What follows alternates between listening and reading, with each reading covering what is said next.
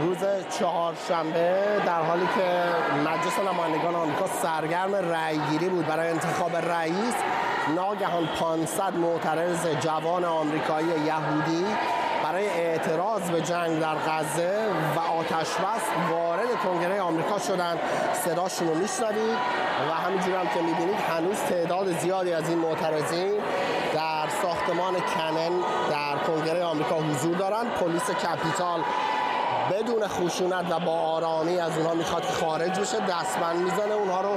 بدون اینکه هیچ خشونتی اتفاق بیفتد این معترضین حاضر شدن آرام آرام خارج بشن از ساختمان کنگره. با یکی از سخنگوهای این معترضین من صحبت کردم.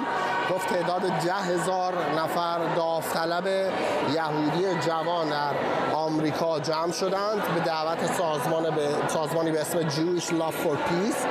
و آمدن به شهر واشنگتن دی سی. 500 نفر از اونها تصمیم گرفتند که بیایند به ساختمان کنگره و تحسن کنند و بست منچینند.